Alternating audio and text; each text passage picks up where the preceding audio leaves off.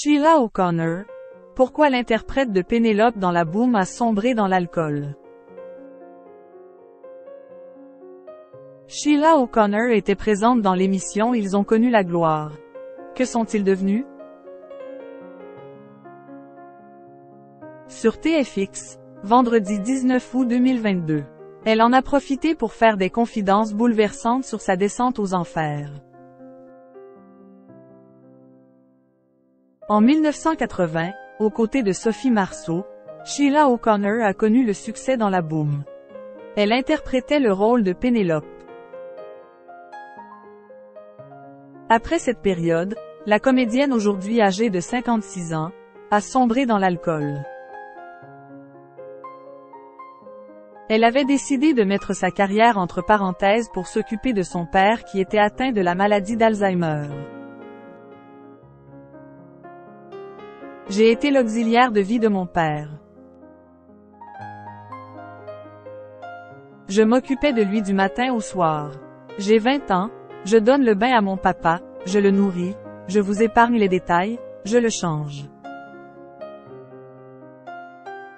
C'est hyper, hyper violent. Donc, je sortais beaucoup la nuit. Et là, j'ai eu une période assez sombre. Tout le monde croyait que je faisais la fête, mais c'était pour oublier ce qui se passait avec mon père, a-t-elle ainsi confié dans l'émission Ils ont connu la gloire. Que sont-ils devenus? À revivre sur TFX ce vendredi 28 juillet.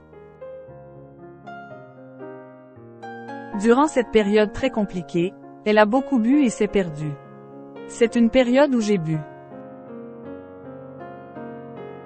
La journée, j'étais auxiliaire de vie, la nuit, c'était les démons de minuit.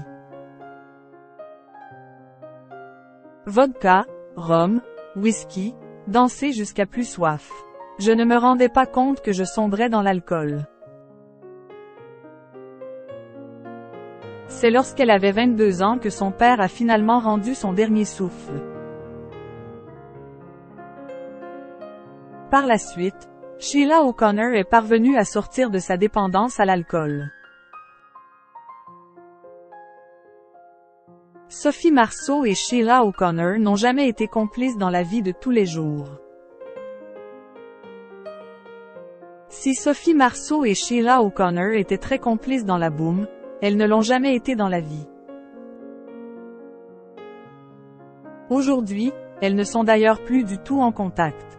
Après, on ne s'est jamais mordu. Mais on était mimine, je comprends que ça ait plu quand même.